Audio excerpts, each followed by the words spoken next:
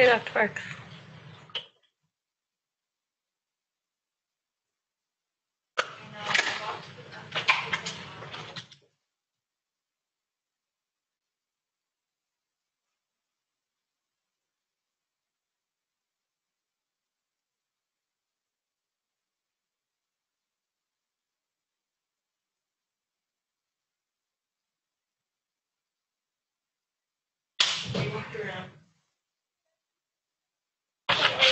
Maybe one more over.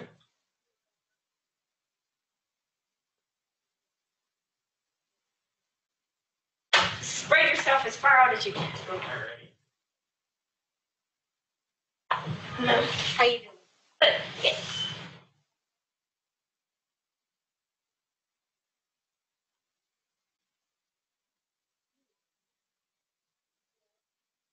Almost done. Only I've got better, uh,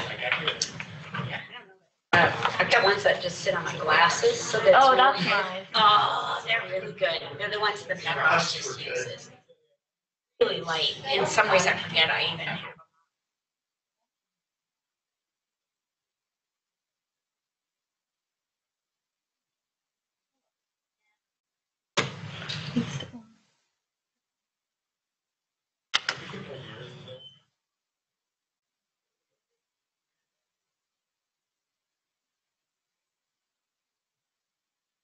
Letting people in down there.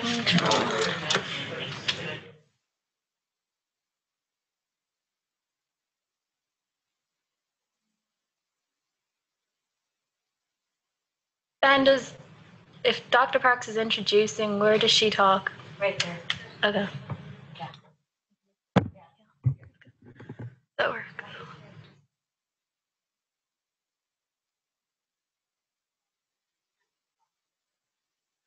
I know, I saw that. I was like, thank God I charged my Fitbit. Because I was like, oh, that clock will be, I'll use that one. Not working.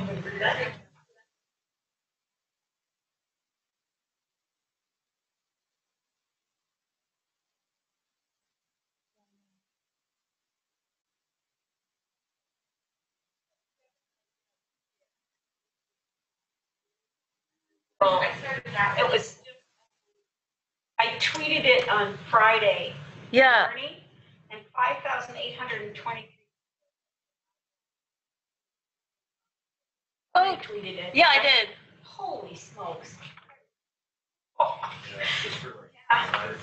It's great. It was a good talk. I Oh, enjoyed it. thanks. It was just like, it was, my God.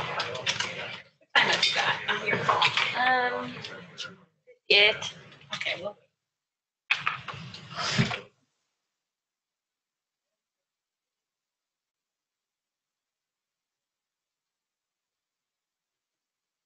Oh, this? The webinar, right? Yeah, the hybrid thing. I was like, I don't know how I feel about that. Well, I've never done a national webinar. Oh yeah. 'Cause I, I got to co-chair one with the physiological society. It was like a really good. Come on down, you got lots of. Yeah, no, that's fun.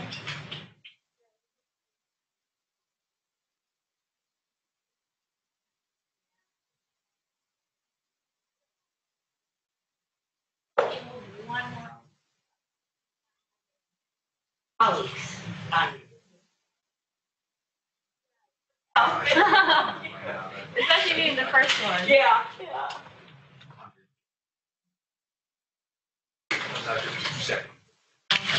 yeah.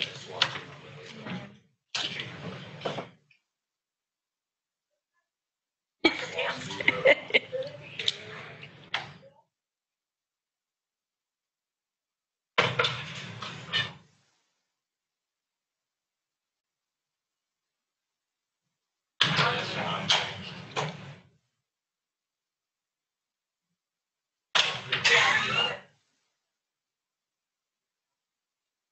Okay, I, th- I think we'll get started.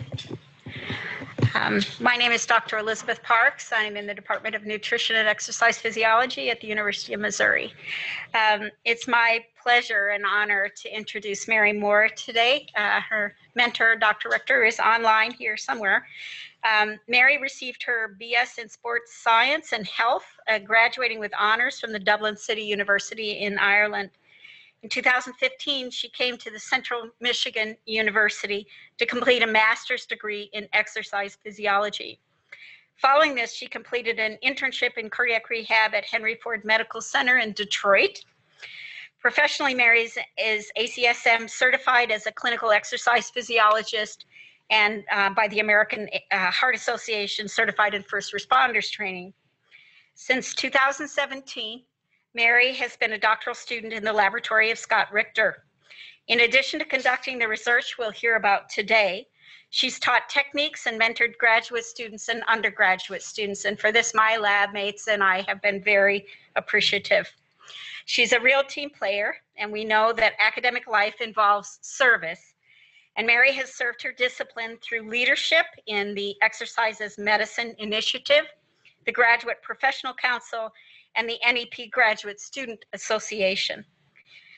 She was also chosen to be the graduate representative on the Chancellor's Standing Committee on the Status of Women on Campus. Mary has been the recipient of numerous honors, including many poster and travel awards, the Ben Londeree and Tom Thomas Award for Outstanding Graduate Student in Exercise Physiology, and the MU School of Medicine Dean's Award for Research for her abstract at Health Sciences Research Day. Mary has published 10 papers and has many manuscripts in preparation. I am a co-investigator with Dr. Rector on a project investigating the effect of diet and exercise on liver function in patients with NAFLD. And Mary has contributed significantly by coordinating the exercise training component of our nine-month treatment program. And many of the patients have told me spontaneously how much they value having her there. It's you've made a real difference. A quote from Dr. Rector, who is currently online. Mary is the hardest working graduate student I have been fortunate enough to train. And I am excited to see what her future holds in academic research. Her dual training in animal and human studies puts her in an excellent position to be a leader in the field of exercise physiology. We're fortunate to have some of you here in the room today, and please uh, help me welcome Mary Moore.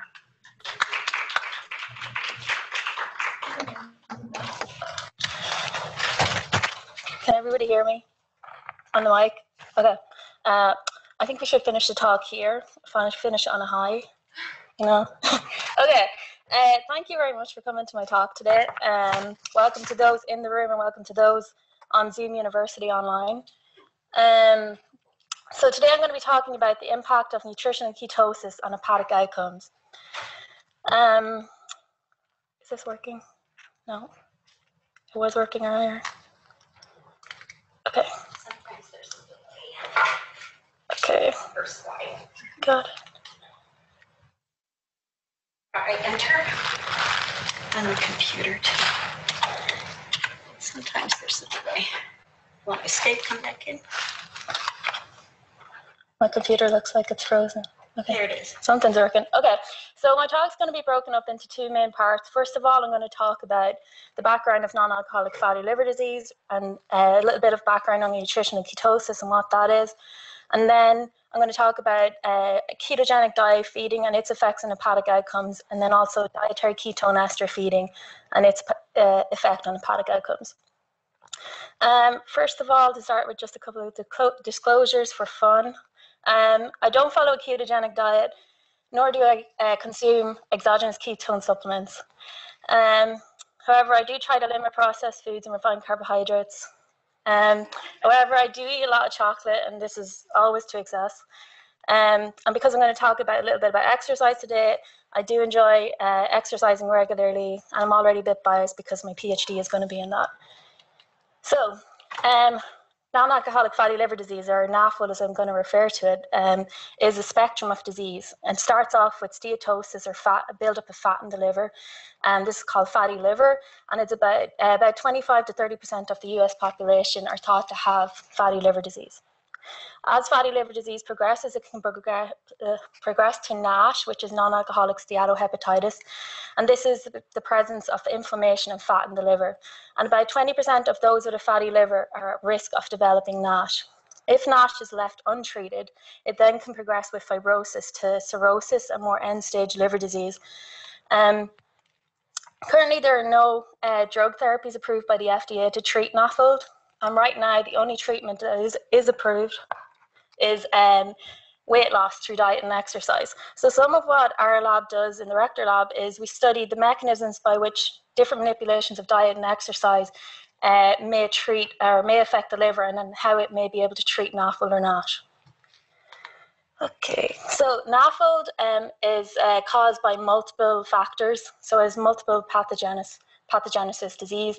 Um, oftentimes it, covers, it occurs in a state of nutrient excess or overflow of nutrients back to the back to the liver, and the liver has to work overtime in order to deal with this increased stress. And this stress can come from peripheral factors such as increases in insulin resistance at the level of the muscle and the adipose tissue, which causes excess glucose and free fatty acids to flow back. And then also can be caused by dietary factors such as excess calorie intake, increase or greater fat intake, and uh, carbohydrate, in particular, uh, simple carbohydrate intake. And then if we look at the level of the hepatocyte, this kind of excess nutrient flux back to the liver can result in a buildup of triglycerides or lipids in the liver. And then as disease progresses a little bit further, there's increase in mitochondrial dysfunction, and there's also an increase in hepatic insulin resistance, de novo lipogenesis, which is the uh, how the liver manufactures free fatty acids from predominantly from carbohydrate sources, and increased uh, TG release also. Then disease progresses a little bit more, more advanced NASH associated with macrophage activation and hepatic stellate cell activation, which ultimately drives this um, this uh, histological phenotype that we see with increasing steatosis, um, in, inflammation, and fibrosis. Okay, so moving on to the next part, as I've mentioned, NAFLD prevalence uh, in the United States is about 25 to 30 percent. And this is on par with the global prevalence, which is also about 25%. And NAFLD also occurs, occurs in the presence of a number of other comorbidities or corresponds with a number of other comorbidities, which includes obesity, prediabetes, type 2 diabetes, uh, metabolic syndrome, hyperlipidemia, and hypertension. So with this increasing prevalence of NAFLD and its association with a number of other comorbidities, it's important that we try and figure out different uh, approaches in order to try and treat the disease. And one of these ways might be through nutritional ketosis. So just kind of a quick background on ketosis and what it is. Uh, ketones were first discovered in the urine of patients with uncontrolled diabetes back in the 18, uh, 1850s. And since then, there's been a huge amount of research done, particularly as it relates to epilepsy and type 1 diabetes, and how ketogenic diet feeding and fasting induced ketosis can be used to treat and those diseases. More recently, in the last decade or two, there's been a resurgence in the interest of uh, nutritional ketosis um, to treat a number of other metabolic diseases and also to promote, or to promote sports performance um, and combat performance as well. And so kind of just to go through, first of all, because I'm going to talk about a ketogenic diet first, I'm going to go quickly go over uh, endogenous ketogenesis. So Endogenous ketogenesis must occur in a state of high free fatty acid availability and low carbohydrate availability. And what this allows um, to occur in the liver is uh, an increase in beta oxidation or fatty acid oxidation. And those excess acetyl CoAs that come from fatty acid oxidation are then funneled into the uh, ketogenic pathway, resulting in the production of ketone bodies. And then the hepatocyte itself actually cannot oxidize ketone bodies for fuel, so they have to be exported to extrahepatic tissues and extrahepatic cells in order to be used. There's two main types of ketone bodies that our body produces, and this includes beta hydroxybutyrate or BHB, and then acetoacetate or ACAC, which they'll be referred to as in the rest of the presentation. And then, uh, as I've mentioned, there's a couple of roles for ketone bodies. The first one being uh, fuel, uh, fuel utilization. They also have direct signaling properties. And then some recent research is coming out to show that once ketone bodies are oxidized, their metabolites uh, can also have some signaling properties, which is a little bit interesting. Uh, so as I mentioned, therapeutic ketosis applications, there's strong evidence for its use in epilepsy, neurological disorders, and type 1 diabetes. However, there's emer- emerging evidence for its use in, in inborn errors of metabolism, cancer, and then also uh, to treat metabolic diseases related to obesity.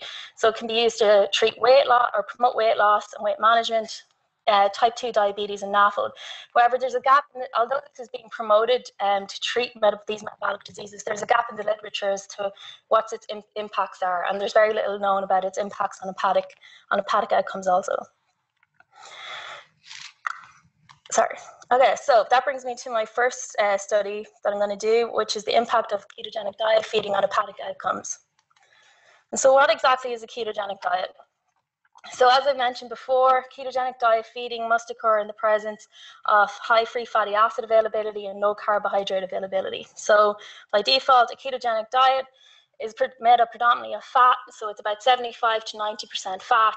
Then it's followed by protein, which is about 10 to 15% usually, and there's all, then there's very little or almost no carbohydrates in the diet.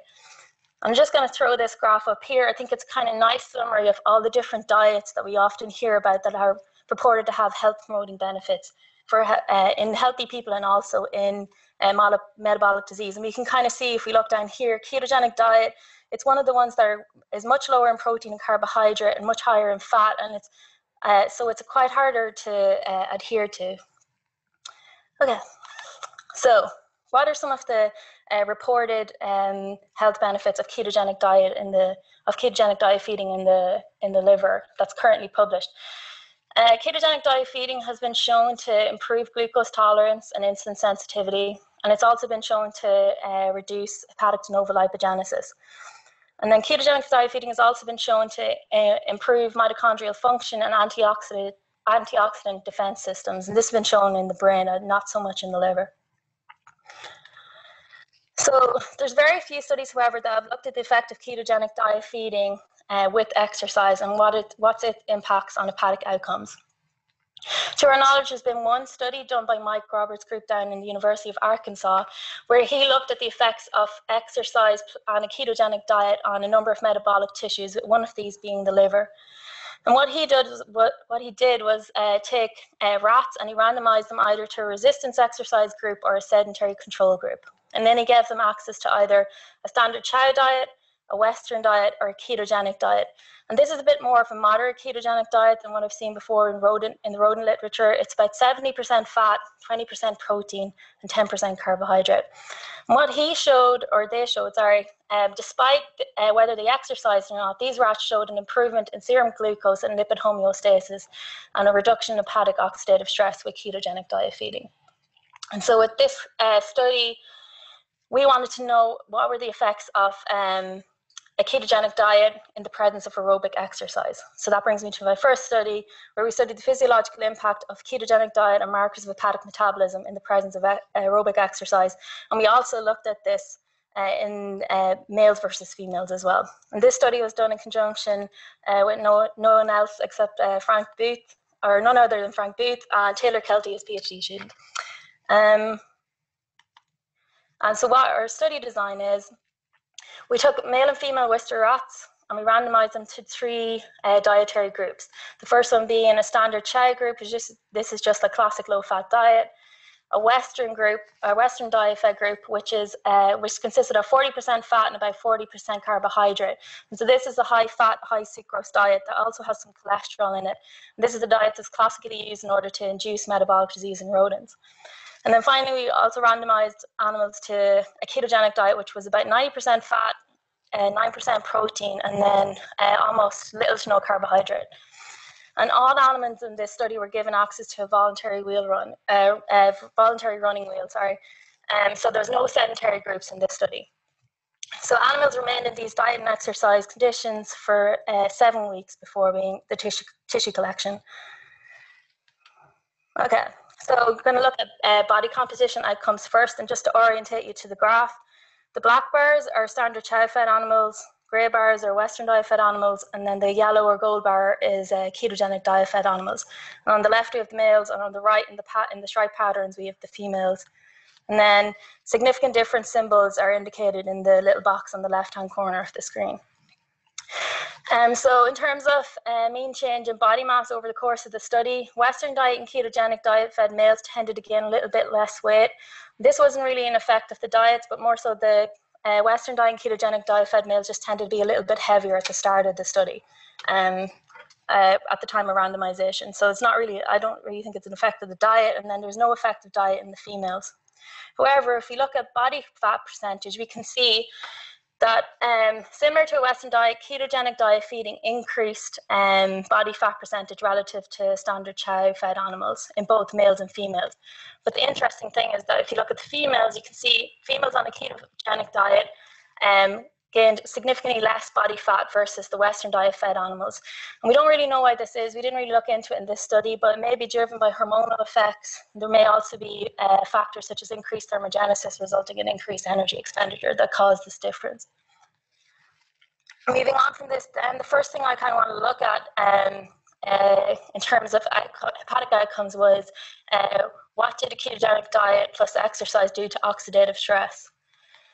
And so uh, glutathione, the glutathione pathway is um, one such pathway that uh, the cell can use in order to deal with uh, oxidative stress or reactive oxygen species production in the cell.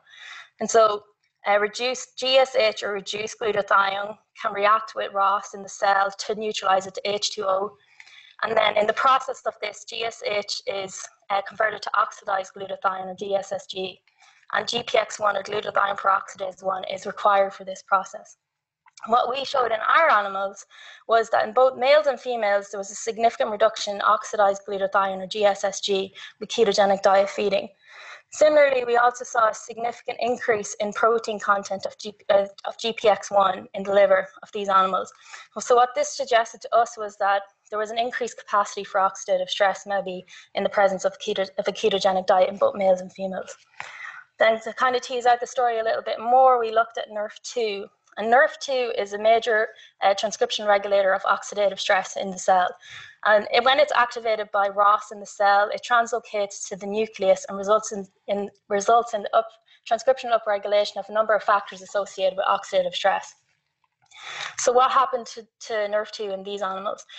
If I bring your attention to the males, we can see that NRF2 result, or NRF2 was significantly lower in animals fed a ketogenic diet in the male groups relative to the standard chow uh, fed controls, again suggesting to us that there may just be reduced oxidative stress in these animals when they're on a ketogenic diet. No differences in the females, however, again, females just tended to have overall lower NRF2 levels uh, versus the males, so maybe they have less oxidative stress overall, regardless of the diet. Progressing on from this, then, we looked at hepatic triglyceride content um, in the liver of these animals. And what we saw was hepatic triglyceride content is going to be my indicator of the degree of steatosis in these animals. And what we saw was that ketogenic diet feeding, similar to a Western diet, resulted in a significant increase in triglyceride content in the livers of uh, these animals.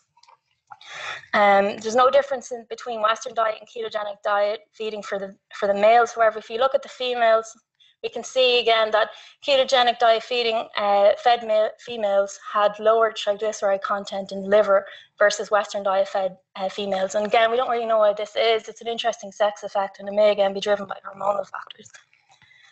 Keeping on this uh, tone of lipids and lipogenesis, the next step was to look at markers of hepatic lipogenesis or de novo lipogenesis in the livers of these animals.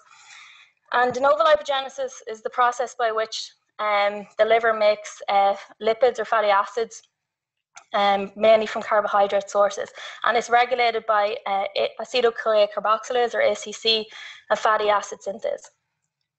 And uh, so, in terms of ACC, if I just bring your attention first of all to the images at the bottom of the graph, we can see that ACC and phosphorylated ACC was significantly downregulated in the ketogenic diet fed males and females relative to Western diet and Western diet and standard chow fed animals. And so what we do is phospho-ACC is an indication that the lipogenesis pathway is being downregulated. So when we get the ratio of phospho-ACC and ACC, we can see here that it's significantly upregulated. And this is indicative of a, of a deactivation of this pathway. So there's less lipogenesis occurring in the setting of a ketogenic diet.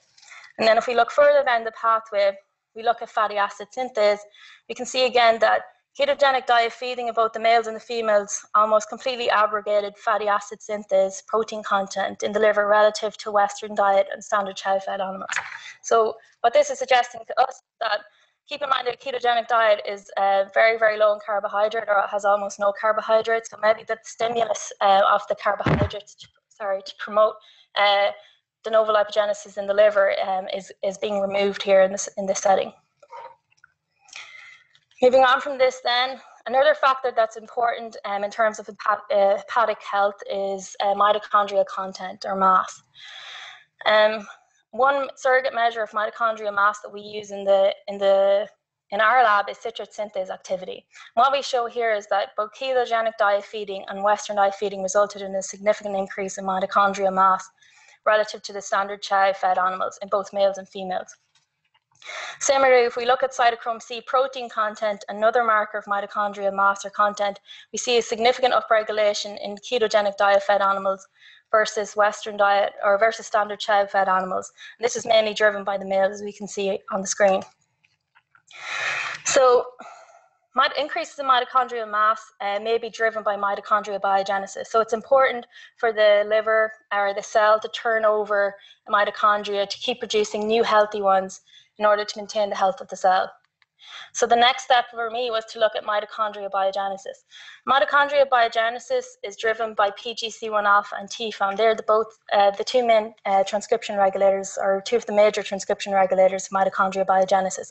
And their upregulation is associated with uh, increase in, in uh, the production of new mitochondria in the cell.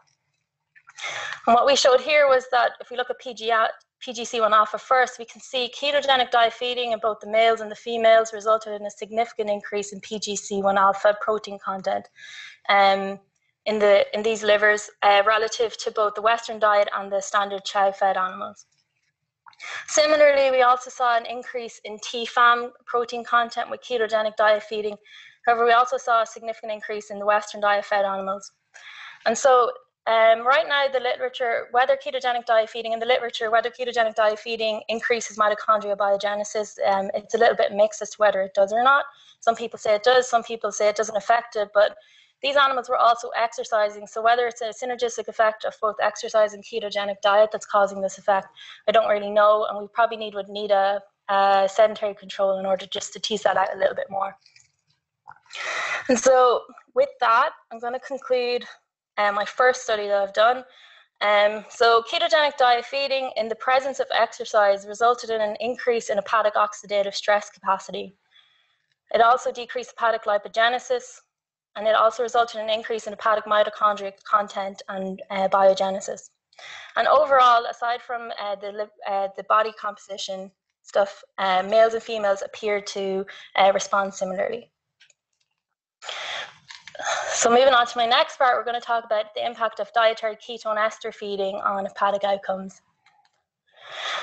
And so recently, uh, ketone esters or ketone supplements, sorry, have uh, uh, garnered a reputation as a magic bullet for to promote metabolic health. Um, however, there is a lack of research to support its use, uh, particularly in metabolic diseases.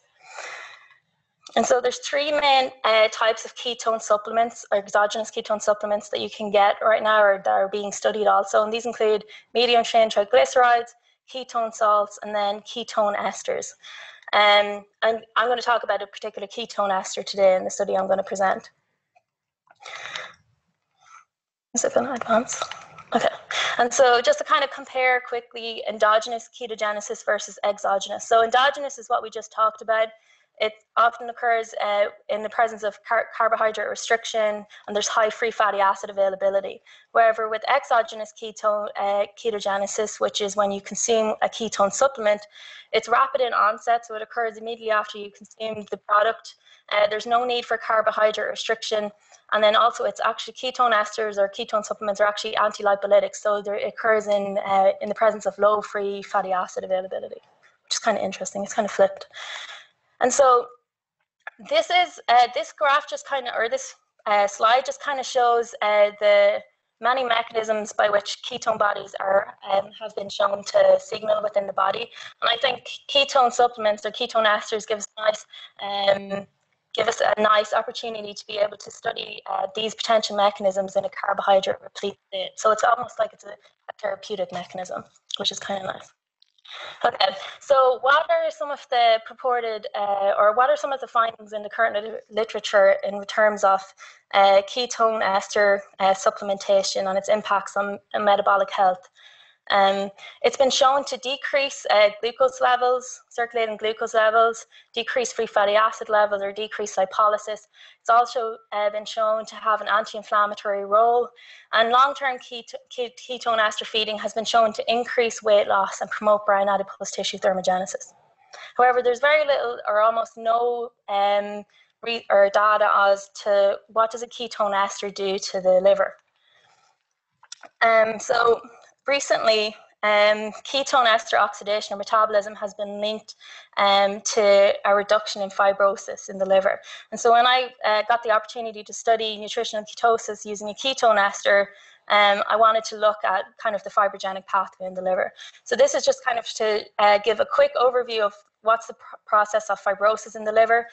Fibrosis is driven by hepatic stellate cell activation in the liver, and this is caused by increasing lipotoxicity in the hepatocyte and also M1 um, pro-inflammatory activation.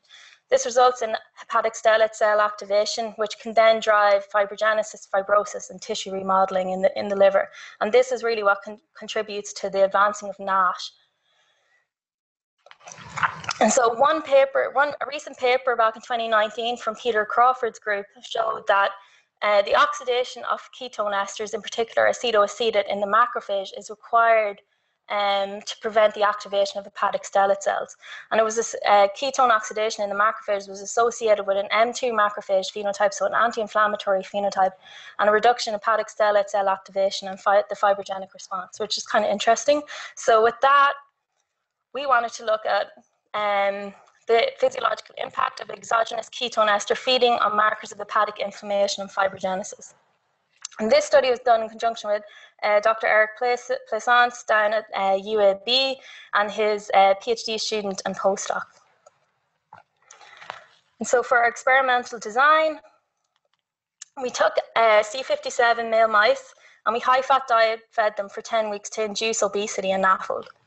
And then following these 10 weeks, animals were randomized into three groups. So it was either a control group in which the animals were maintained in a high fat diet, um, or a ketone ester group in which 30% of their energy in their diet uh, was replaced with uh, ketone ester. And this is the ketone ester over here on the right hand side of the slide.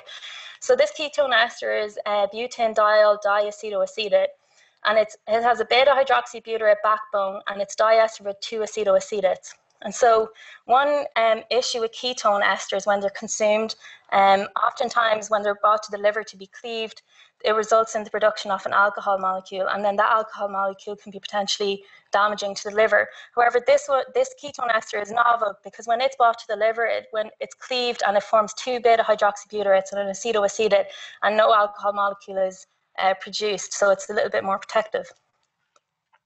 And then the ketone ester fed group tended to eat less than the control fed animals. So we included a pair fed group here where they were maintained on a high fat diet, but their calorie intake was matched to that of the ketone ester group. And then once animals were randomized to these three dietary groups, they were maintained in these conditions for 12 weeks. And so uh, just to orientate you to the graph, the black bar is control fed animals, uh, the pair fed group is the blue or purple bars. I may also refer to these as, as the weight loss group. Um, and then the ketone ester fed group is the yellow or gold bars.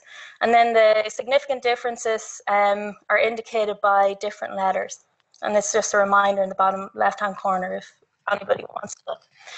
Okay, so the energy intake, in terms of energy intake, ketone fed, ester fed animals tended to eat about 26% less ca uh, calories versus the control fed animals. So the pair fed animals were matched to this.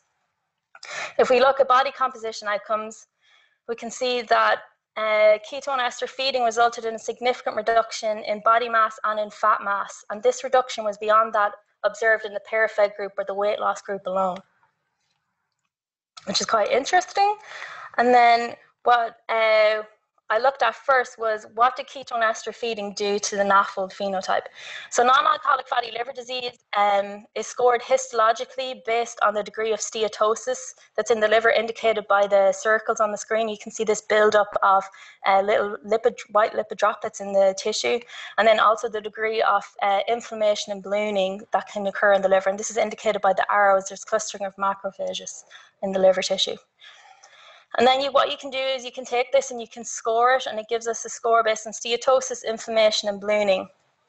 And if you look in the graph, you can see that, again, ketone ester feeding resulted in a significant reduction in steatosis and inflammation scores relative to the pair-fed and the control groups. And then pair feeding and ketone ester feeding resulted in uh, similar reductions in, in ballooning.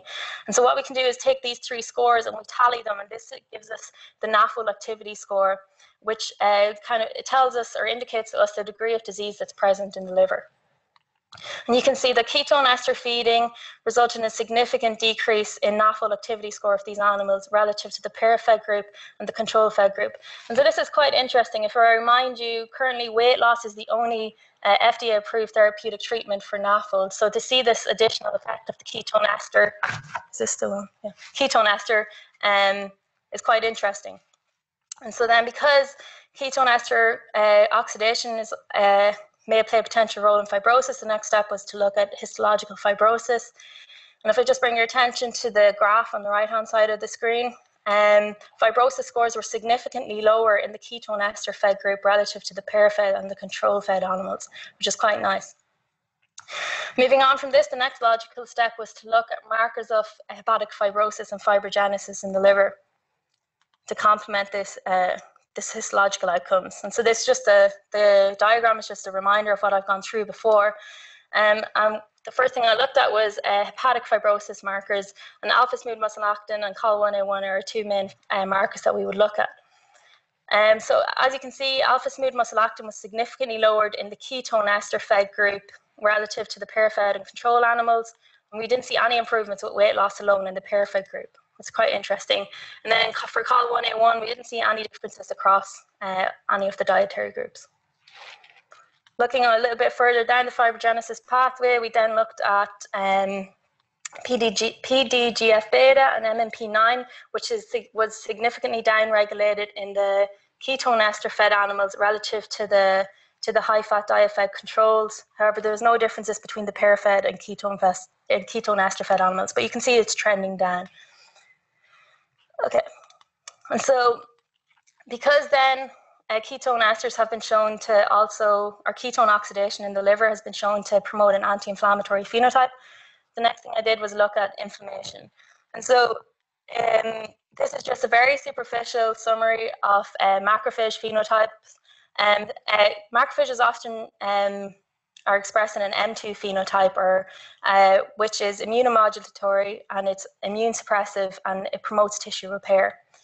So it's kind of anti-inflammatory. Versus M1 uh, macrophage phenotype, which uh, is a pro-inflammatory phenotype, and this is macrophages are often M1 activated in the setting of NAFLD or NASH.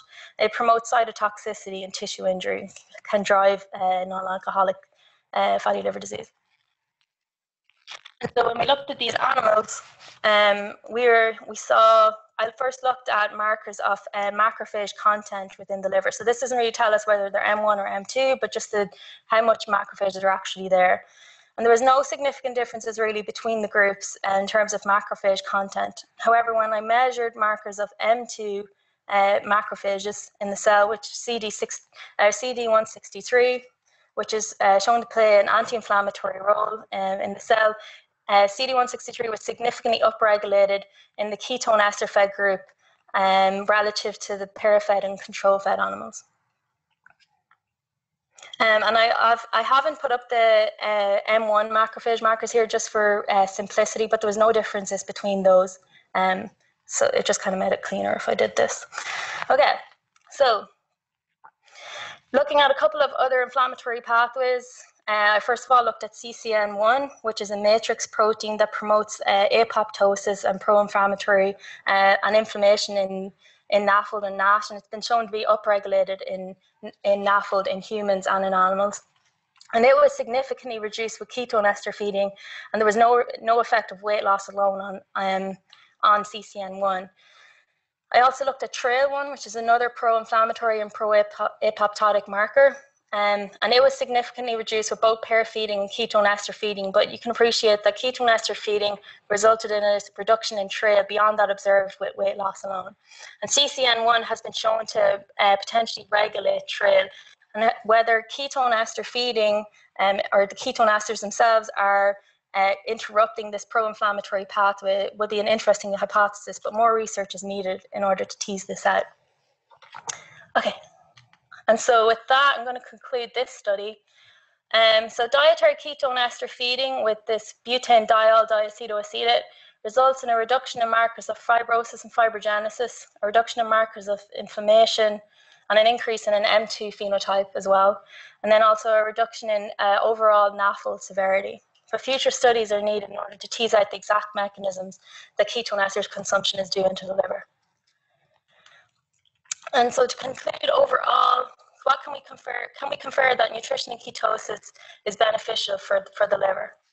And the answer is yes and no, and, and but maybe. So um, ketogenic diet feeding with exercise provides beneficial effects on oxidative stress capacity, um, hepatic lipogenesis, and markers of mitochondrial content and biogenesis. Um, however, if you remember with the ketogenic diet, it resulted in a significant increase in body fat and also in liver triglyceride content. So this was quite a short-term ketogenic diet feeding study.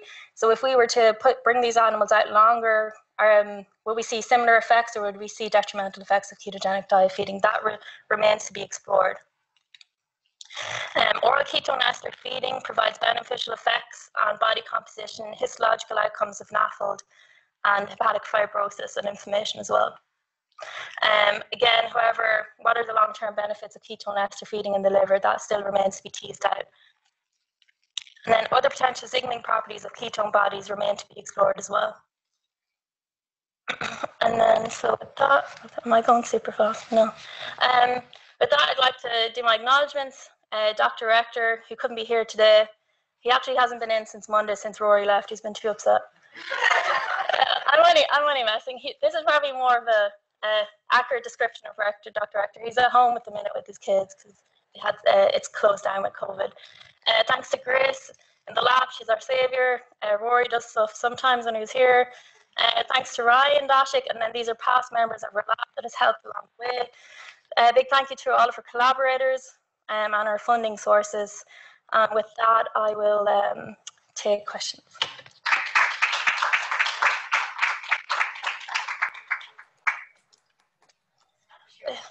So I'm looking at the chat. There's Dr. Rector. Great job. He, he must not have heard my joke. I have a question to start off. Um, you added the ketone esters to replace some of the energy of the diet. What did you remove that you replaced? Uh, predominantly the sucrose. So I have a makeup of the of the diet if you want to see it, but it was predominantly uh, the sucrose that we removed from the Oh, this is um. Whew. She has a little bit more data than she showed us. These are just. these are some. Oh, there we go. So these are um. It was predominantly, if we look here, it's mostly the sucrose that we actually removed if you compare it to the control fed animals. So that is a little bit of a caveat. We left that sucrose um, uh, kind of insult in the control fed animals. So whether if we had have uh, done a better job of kind of matching the sucrose content of the of the diet, we may be able to tease our, or kind of remove that variable of like taking out the sucrose insult.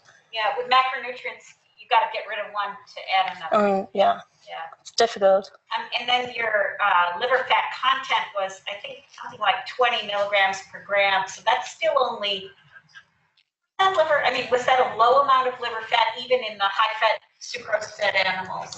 Um, yeah, I think it still was a little, it was a little bit low, and the, all these animals are exercising, so that probably kept it a little bit low. So everything is kind of relative just to the standard chow fed control. So that's again another caveat of the ketogenic diet feeding. Beautiful data. Any questions?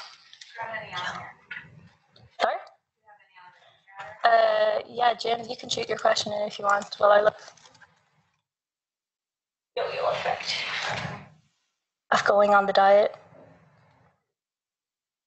due to the increased calorie ca- i'm going to read it out so can you please comment on the yo-yo effect of going on and off the diet oops they're coming in too fast now uh, due to the increased calorie count in the keto diet wouldn't that increase the number of adipocytes uh, while increasing the size um, i'm not really sure if we can tease that out here the as a, uh, as a result of the ketogenic diet being higher in calories that the rats just tended to eat less of it um, it wasn't that they uh, ate more but um, yeah, I'm not quite sure about the yo-yo effect. It would be interesting to do that study in like a rodent model and then try and translate it to humans. I do know that humans can go on and off ketogenic. They're telling you I'm ketogenic, but are they really? I don't know. Um, yeah. Uh, James, do you have a question? Yeah, I did. Uh, thanks, off great job. Thanks. Uh, super informative. I guess one of the conclusions that you came second study was overall was like there was reduced oxidative stress. I guess I was just wondering, like, did you how did you test that reduced oxidative stress? Did you do like a cross assay or something? I didn't see any graph representing that. Um, we did. I did a couple of assays. Um, there was no effect, but then the G, the GSH, GSSG, that was an assay, so it was actually kind of testing the activity of those. So, and that's kind of where we conferred it. Thanks. Um, I'm going to switch to Zoom now, and then whoever's at the back there, I'll come to you. Uh, so Dr. Fritsche, he's going to have a question on diet. Okay, so what do you, uh, you think your diets are doing to the gut microbiome? Do you consider collecting and analyzing fecal samples for microbiome profiles? Thank you, Dr. Fritsche. I'm going to go to the, uh, the ketone ester diet. I'm not quite sure what it's doing to the gut microbiome. It did cause um, an increase in fecal, um, an increase in the amount of uh, fecal load or the amount of uh, the animals were pooping. So I think it may have caused a little bit of uh, increased gut stress, and whether that's potentially changing the gut microbiome, it probably is, but it hasn't been looked into in our study. Uh, I hope that answers some of your question. Um, do I have any others? I don't think so. So there's two people at the back. Yeah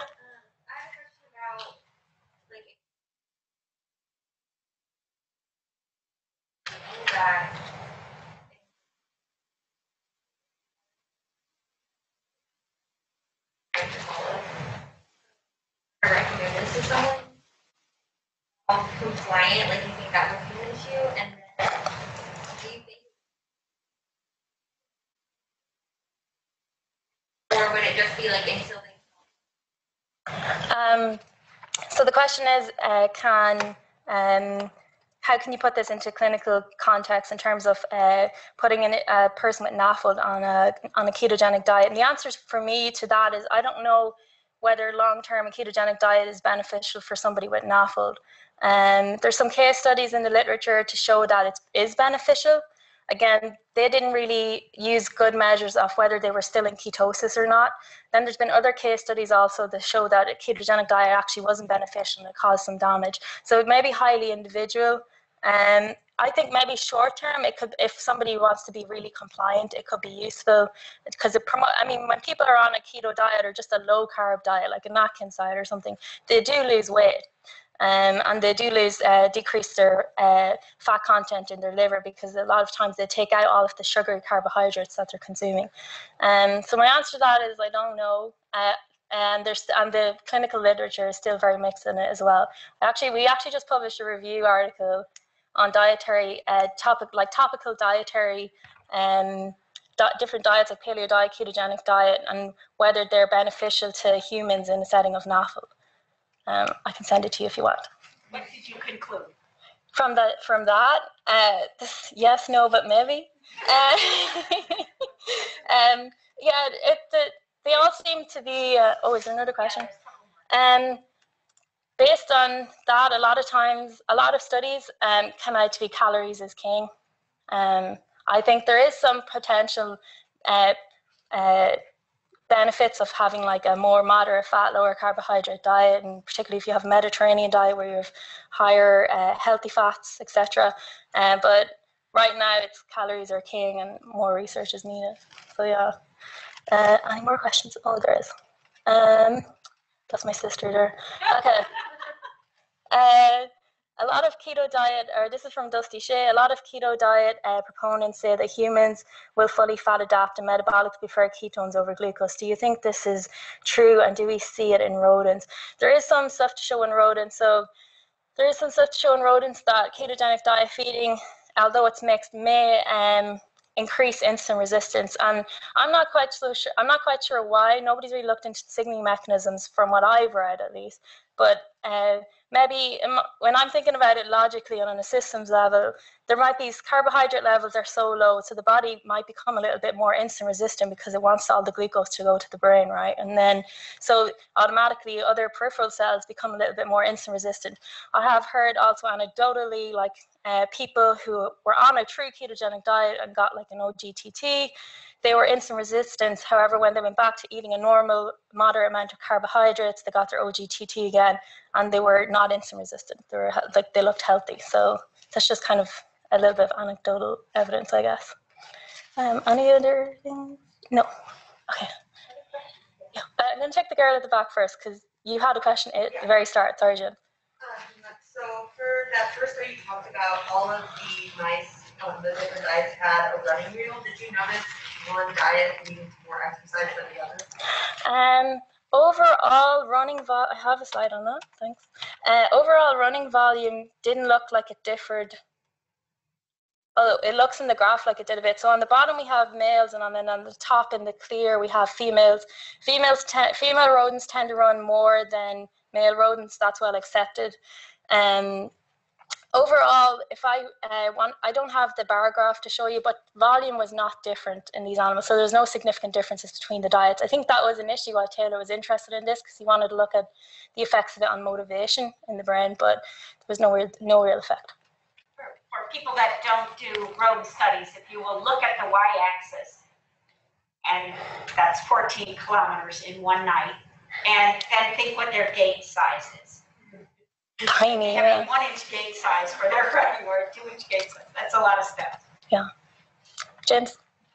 So, you know what like the keto flu is? Uh, Uh. like, uh, so I guess I'm wondering, are animals also susceptible to that? So if you're putting them on like this ketogenic diet chow, are they gonna become sick? And then if they do, help them overcome it so you don't like have high attrition in your Uh, well, the can there's no attrition because that's the only diet they got. But uh, but- I, I do see what you're saying. So they probably, if they, because they have similar physiology, right? So that's why we study them. So they probably do have a bit of a keto flu, but their metabolism is so fast that they get into ketosis a lot faster. And they'll be in ketosis in like less than 24 hours, whereas with humans, it takes at least 24 to 48 hours, or Dr. Park's right, to like for them to switch, and then that's that kind of keto flu. So yeah, much faster. Um, do we have anything else here? No, I don't think so. Okay. Is that it? Thanks, guys. No, very good job. Thank you. Oh, open. Yes, thank you, everyone. Making this